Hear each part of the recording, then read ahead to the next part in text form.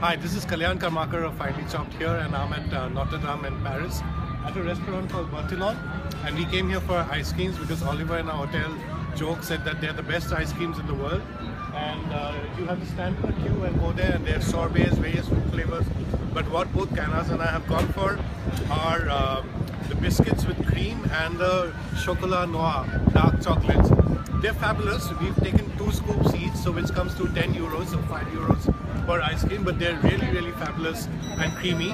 And we were looking for good ice creams in uh, Paris and we finally found it. And let me just show you the pictures setting where we are. So this is the river and just down over there uh, behind my ice cream cone is the Notre Dame. So I'm gonna have my ice cream now and uh, you guys should try Berthillon uh, too if you come here.